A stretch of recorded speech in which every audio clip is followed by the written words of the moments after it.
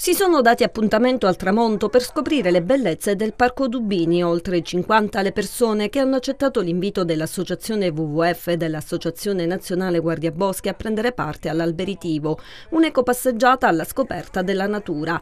Un parco, quello del Dubini, scrigno di biodiversità floristica e arborea, ma anche faunistica.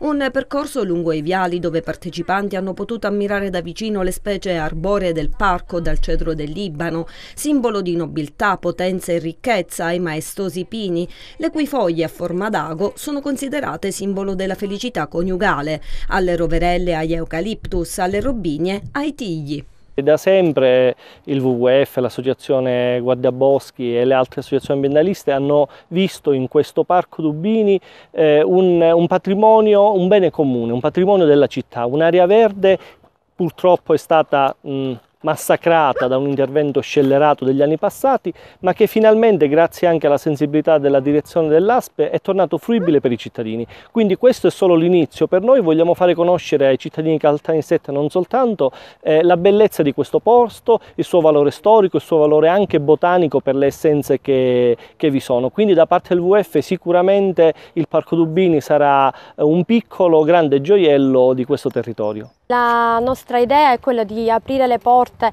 nonché eh, il cancello di questo bellissimo parco ai bambini di Caltanissetta e dei paesi limitrofi, perché è un piccolo polmone verde che è giusto fare conoscere e così anche valorizzare a tutti i cittadini e anche a quelli più piccoli. Si parla tanto di educazione ambientale nelle scuole, fin dalla scuola materna, eh, media, superiore e quindi è giusto che anche qui a Caltanissetta si facciano questi percorsi.